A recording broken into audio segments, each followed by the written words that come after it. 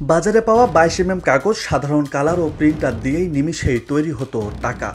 এরপর পনেরো থেকে বিশ জন এজেন্টের মাধ্যমে রাজধানী সহ দেশের বিভিন্ন এলাকায় চলে যেত সেই জাল টাকা। কোরবানির ঈদকে সামনে রেখে চক্রটি বিপুল পরিমাণ জাল টাকা বাজারে ছাড়ার প্রস্তুতিও নিচ্ছিল। যার ছোঁয়ায় সাধারণ কাগজ হয়ে যেত টাকা, সেই জাকির সহ তার সহযোগীদের আটক করেছে গোয়েন্দা পুলিশের লালবাগ বিভাগ।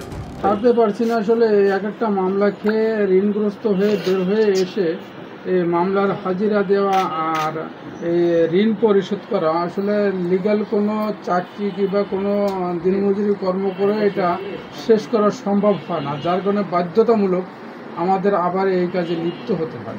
ইন্ডিয়ান রুপিটা একমাত্র রং সরি রাজশাহী সোনা মসজিদ এই সীমান্ত এলাকার থেকে যায়, অন্য অন্য কোনো বর্ডার থেকে আমার জানা সত্ত্বে যায় না।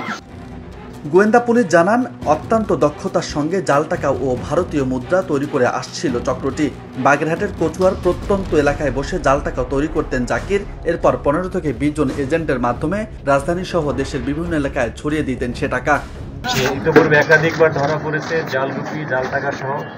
আমরা অনেক দিন ধরে খবর পাচ্ছিলাম যে ঢাকা মহানগর গোয়েন্দা পুলিশ বা পুলিশের এড়ানোর জন্য সে বাংলাদেশের দূরবর্তী জেলা বাগেরহাট অঞ্চলে কারখানা স্থাপন করে জাল টাকা বানাচ্ছিল। একাধিকবার আমাদের ঢাকা মহানগরের অন্য অনেক অফিসাররাই অভিযান চালিয়েছে তাকে গ্রেপ্তার করে। সে প্রযুক্তি থেকে বিচ্ছিন্ন থাকে। তো আমরা আমাদের লালবাগ জোনাল টিমের এডিসি কামালের নেতৃত্বে গত রোজার ঈদের আগেও তাকে ধরে দেওয়ার চেষ্টা করা হয়েছিল। আমরা রিটেলিং পর্যায়ে এক মহিলা এক পুরুষকে গ্রেপ্তার করতে পেরেছিলাম। সেখান থেকে অনেকটাই তথ্য পাওয়া গেছে। এখন আমরা বসুন্ধরা থেকে এক শিক্ষিত মহিলা, যার ছেলেপেলেরা প্রাইভেট ইউনিভার্সিটিতে এবং ইংলিশ মিডিয়াম স্কুলে পড়ে, উনি জেলখানাতে এদের সাথে পরিচিত হয়েছে। ইয়াবার মামলাতে চালান পরে এখন সেই ঈদ উপলক্ষে অনেকদিন ধরে তাদের কাছ থেকে জাল টাকা কিনতে যাচ্ছিল।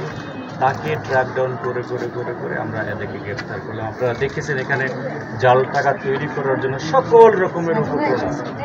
নিরাপত্তা সুতা বঙ্গবন্ধুর প্রতিকৃতির জল সাপ থেকে শুরু করে সব এখানে আছে এবং আমরা তৈরি করে প্রায় দেড় কোটি জাল টাকা পেয়েছি যার মধ্যে দুইশো টাকার নোট পাঁচশো টাকার নোট এক হাজার টাকা আগে আমরা জানতাম পাঁচশো টাকা বা এক হাজার টাকার নোটকে জাল করা হয়। এই জন্য এখন মানুষরা পাঁচশো টাকা, এক হাজার টাকার নোট নেওয়ার সময় নানাভাবে নানাচারা করে অথবা সেগুলিকে পরীক্ষা নিরীক্ষা করে। সেই জন্য তারা এখন একশো টাকার নোট এবং দুশো টাকার নোটকেও তৈরি করা শুরু করছে, যেটা অত্যন্ত ভয়ানক।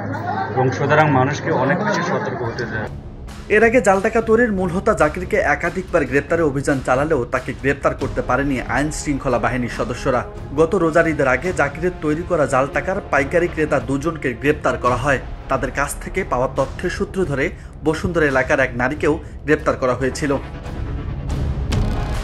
আইনে জাল টাকার মামলা দ্রুত বিচার আদালত নেই, ফলে দীর্ঘ সময় ধরে বিচার কাজ চলায় তারা কারাগার থেকে জামিনে এসে আবারও একই কাজে জড়িয়ে যান বলে জানান ডিবি কর্মকর্তারা।